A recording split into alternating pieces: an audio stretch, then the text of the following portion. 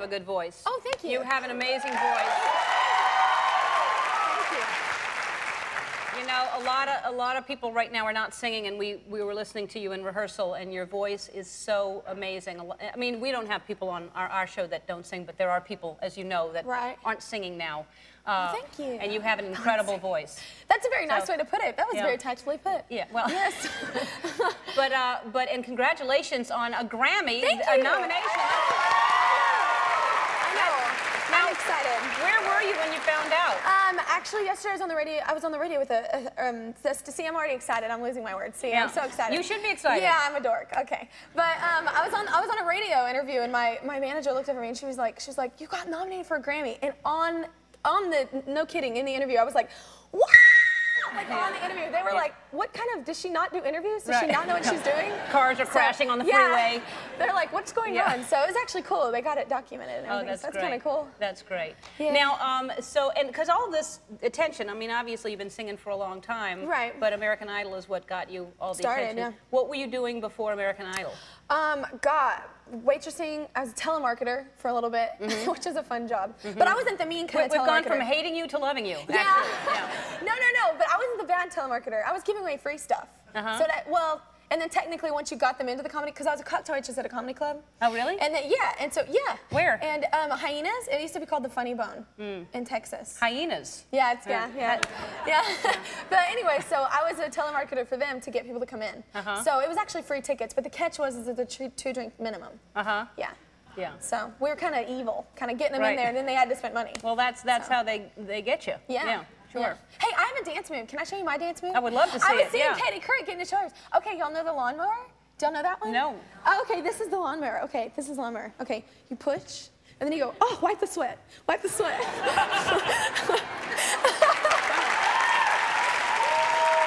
just, I just lost my entire fan base. Yeah. I have. This is. This, this, this is this is a lawnmower too, but it's the riding lawnmower.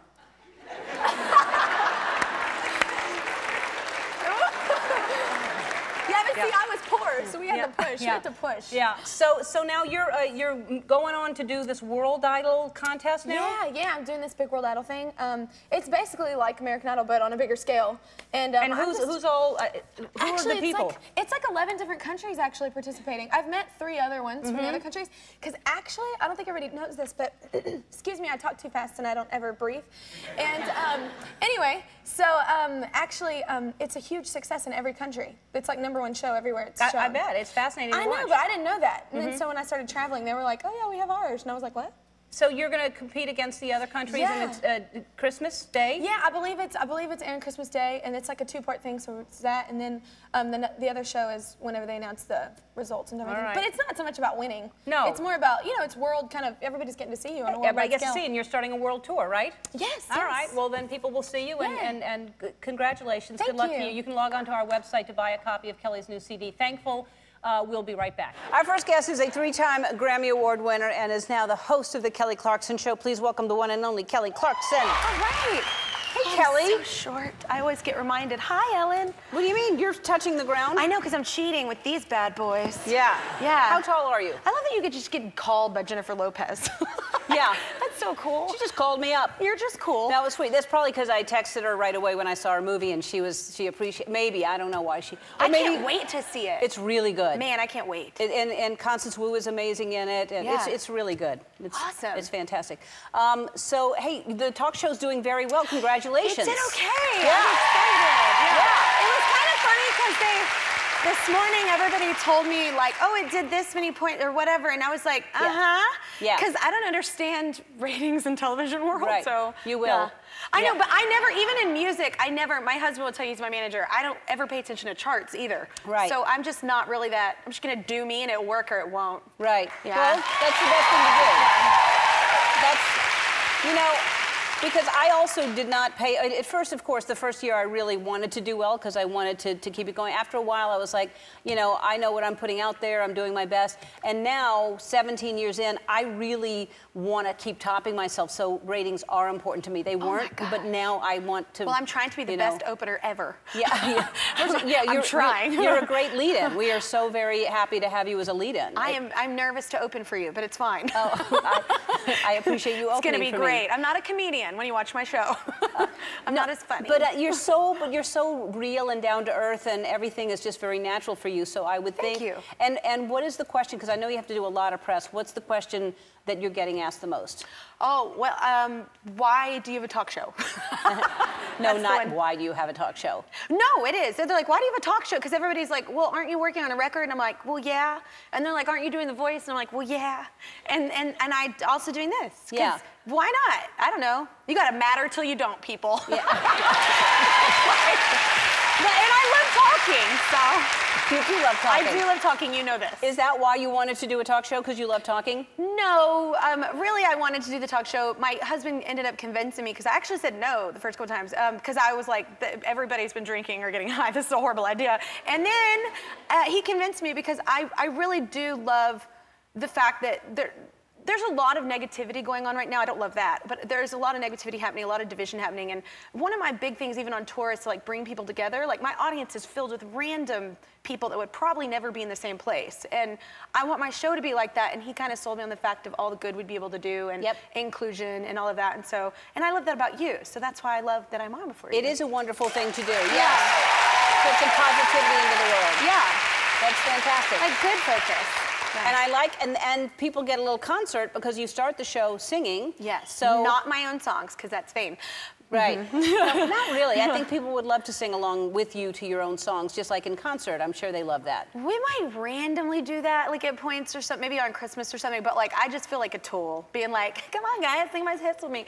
Um, I'm not. No, I'm not gonna do that. But I love singing other. Uh, you love musicians. You love music, and so do I. And How do you pick the song you're going to sing? someone from the audience picks it, and I learn it real fast. Like I'm learning one backstage because I have a show after this.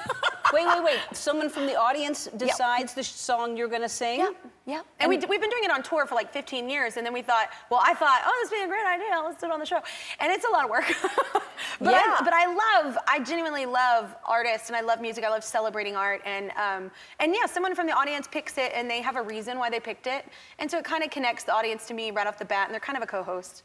But no, and so what, what happens if they pick something that is really difficult? Is it, ha- Have you Oh. had a song that's hard to sing? Um, well, it's not necessarily that things are hard, it's just that they shouldn't happen. Um, like me covering Eminem was pretty much the. Which, which Eminem song But I sing? challenge accepted. I Yeah. can't. Um, Eight Mile, the you know, Oh, mom yeah. spaghetti. Da, da, yeah. Yeah. Uh huh. That's the one. Yeah. I, it know was Mom so Spaghetti. bad, but whatever. Challenge accepted. I'll sing anything. And Uh-huh. And literally, we've done like country. Like we'll do anything. but, Yeah. yeah. Because the very first show, I surprised you, and, and you were doing the Jonas Brothers Yes. song, "I'm a Sucker for You." Yes, I love that and song. that you you did that very well. Yeah, I was excited to see when a fan picked that one because I love yeah, that one. that's a good song. Yeah. All right, so anyway, so that's that's fine. You were surprising me. You were Yeah. so nice. You came by, and here's the thing: my audience freaked out to where I, when she left, I was like, "Come back." They were happier then. Like, they were freaking out. You were Oh. so kind, and you brought me a beautiful painting Yeah. that we are hanging in our studio. We had one wall. We had one wall for it, and it's that's where. It, yep. But is it on the set or? No, or it's on the set. Is yeah. it backstage? We only had one empty wall. I'm telling you, seriously, everything is filled with like guitars or whatever. All right. And, yeah. I, I and your it- face. I need to see it there every day. Yeah.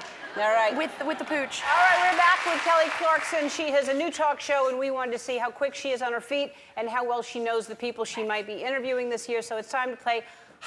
So Okay. you're going to see someone, and you're going to say who they are and whatever you would ask them real quick. Just a quick question of an interview, and then hit that. It'll move on. Mm-hmm. Okay. First one. Okay. Oh, Justin Timberlake. Oh, I would ask him um, to write me a song. Honestly, that's probably what I do. I, I love his writing. All right. I think he's so talented. All right, I enough, ask him where enough, the troll. enough. Yep, came. Yep. And then, oh, he's good looking. Um, that's Thor. Uh, that's Chris Hemsworth, and I would just ask to come to the next superhero movie preview. This is all about me. Hmm. That's what my show is about, apparently. No, um, I would ask him if there was anybody else up for Thor, just him. Okay, yep.